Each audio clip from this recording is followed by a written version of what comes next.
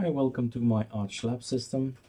We're gonna make a tutorial about Linux Mint and Linux Mint is ready here. We have 18.2 Sonya Cinnamon that is out and we want to check if the Sardi and the Surfn icons are still in order and in the meantime use it the time to get an overview of Sonya. I have my GitHub, GitHub ready. There is one in particular I want to download, the Ultimate Linux Mint 18.27 that I updated 28 days ago when the beta was out. So I'm wondering if there's a lot of difference between the two of them. Then we have this virtual box available to run anything and we're gonna set it up. We're gonna name it Linux Mint 18.2 cinnamon 64 bits is okay and it's indeed an ubuntu. It's based on ubuntu. Next create virtual hard disk. Next allocate. And i'm gonna give it around 2120 okay. Create. Then we're gonna load up our image which is already here. And let's start it. Moving it to this screen. Automatic boot enter enter and it goes 8 seconds faster.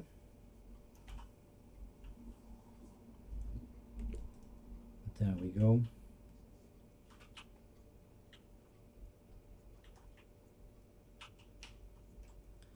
Some yellow message I could have couldn't read it.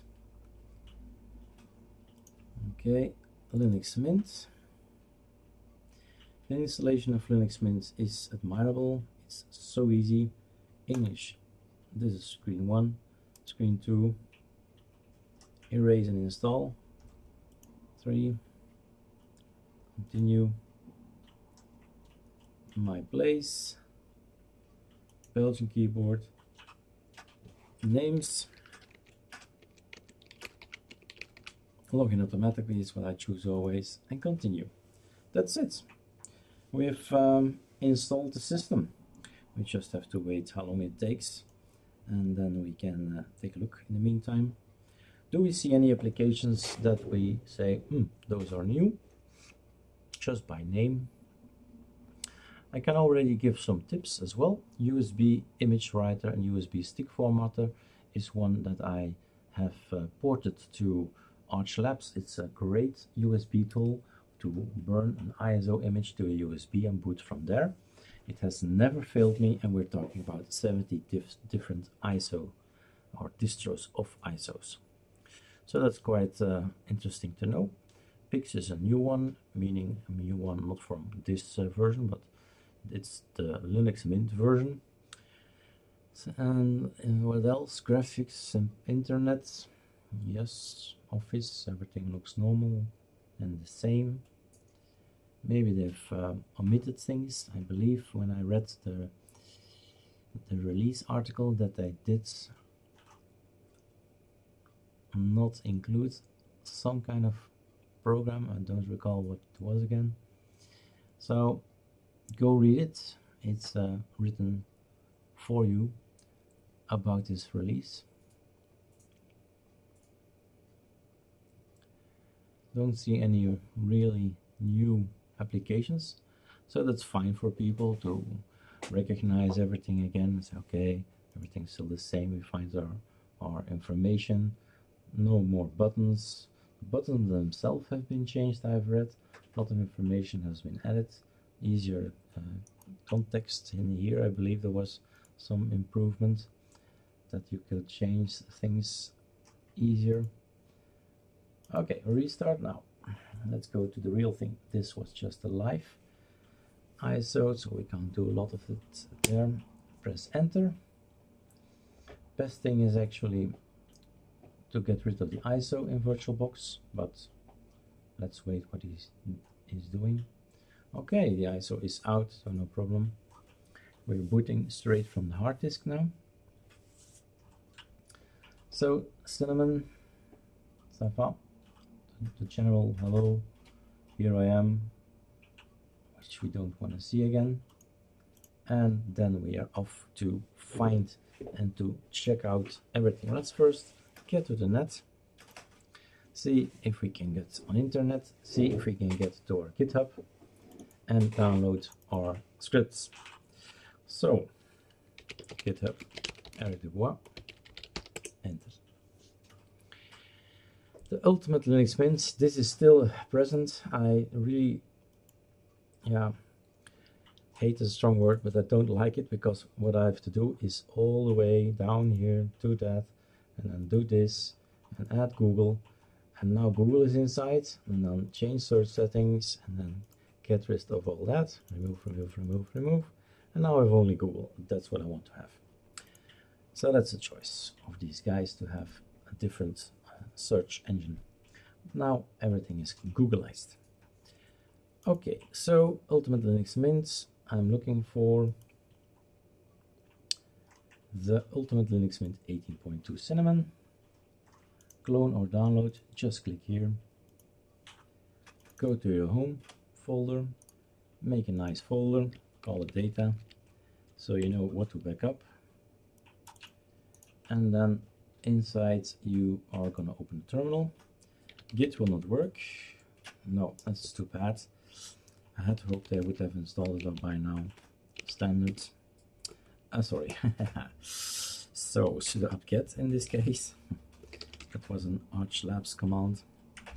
Sudo apt-get and or apt install faster, and then git. Yes. And git clone and we're going to copy paste it. Control shift v enter. What's happening? This is happening. We just copy pasted everything now to our local system. And then we can make it like so. And I'm missing some stuff here. Toolbar. Okay everything is still available. Fine because I do want this button to be here so I can open a terminal in that folder. And now it's up to these little things that will install my software. Let's start with Sardi icons. There is two of them. I just want the one, not the extra one, but uh, the core uh, version. So that's that. Let's have a look. How does that look? we go to 222 preferences scroll down themes get it and put it here. You always want to theme things change icons change that this and that. For instance I like it mint white dark.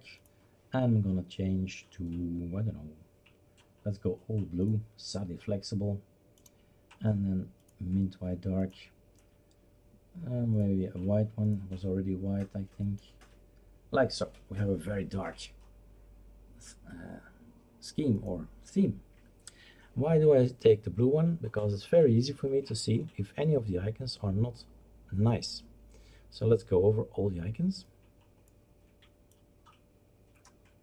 And because of the earlier visit on the beta version voila we did not encounter any problem but it's not finished. Let's check this one. All is blue, which is great. And it's still not finished. We should check as well, but that's actually less important if there are things in there, not the trash, Erik. User, share, applications. Let's maximize. So some of them are not blue because of, well, the nature of what they are. But this one is wrong. And that's the only one. So that's quite okay. Let's move that here. So these things do not have an icon, so that's why they're looking like that. I have here many more scripts available, as you can see, and the one I'm interested in is this one, the hard code fixer. Why? Let's move down. These two guys. Okay, you don't see them in the menus, but I'm just explaining it as well because if there are icons in the menu of programs that do not change, then it's this script you have to run. Uh, you have to type hard code fixer and do check them out. Where are they? There they are. Python version 2 and so on. Just waiting for my password at all the time.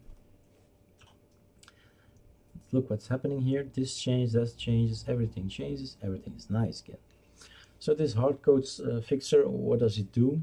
Some of these engineers keep on giving us a hard-coded pathway. Go to user, share, pixmaps, that size. So whatever theme you have, uh, Papirus, Numix, never mind what icon theme, it will never change. So that's fixed now. Okay, so Sardi is okay. Let's have a look to Surfn.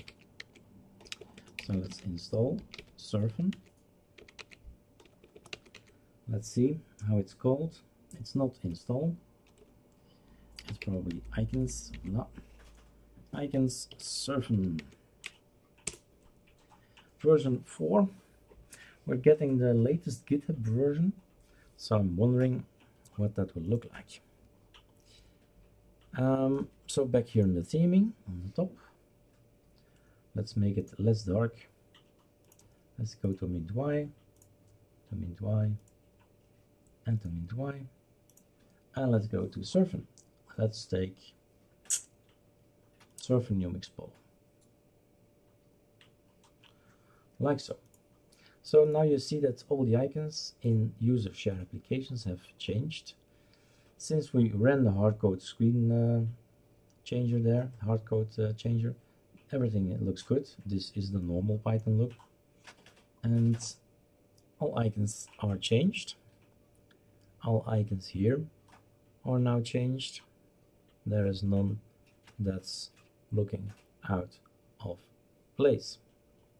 So best thing is go to all applications and slowly maneuver your way down. And I instantly recognize an icon that's not mine. And I will fix it. So this is already cleared. That's done. So what we did now is check out if we have um, Sardi and Surfn that's working nice. And then you tap uh, you press tap tap twice and this is all you can install.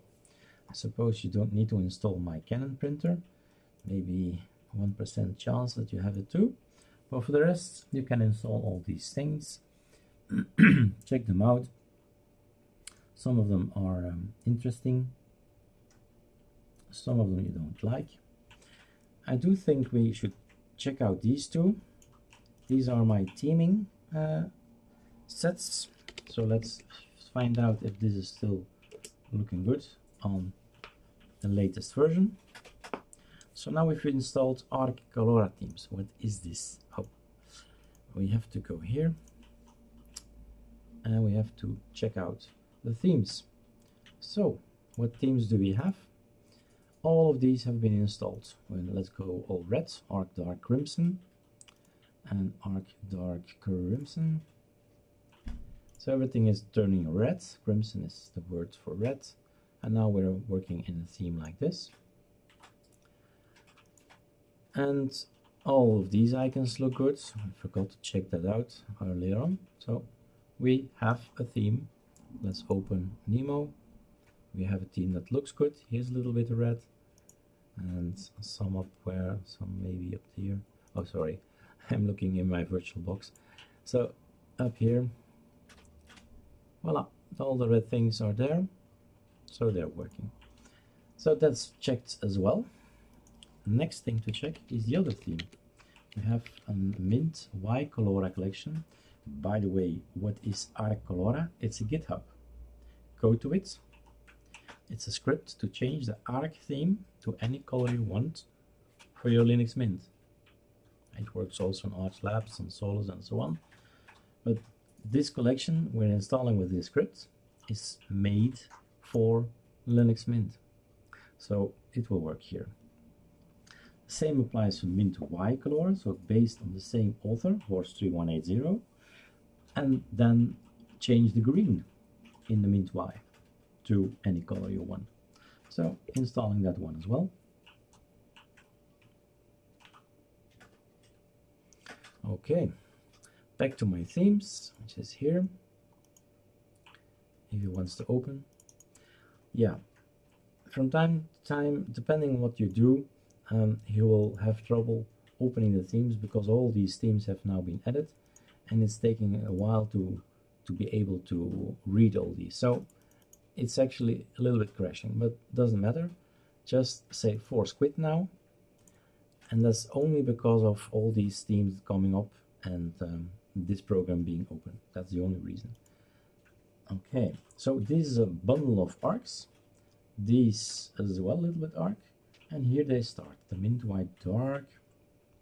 There's also a red one for this guy. Maybe we, should, we can compare what the difference is. A mint white is not bluish, but mint white is dark, like blackish. Um, this one, huh? So everything, also this one, is changed to red. Everything you touch and look at, all the elements will have changed. Also here, everything is changed to this mint white crimson. So that looks as well uh, a success, so we keep all these scripts there, that's just fine. Oh, sorry. And then let's take a look. What can I recommend? And I'll close the tutorial here then. I can recommend you install some extra software, core software here, extra software. Some themes and icons and cursors, but we installed already four of them. Um, I do recommend from Cursor, this is the Breeze Snow White, I think the name is. Um, what else? InSync is to uh, share Google Drive.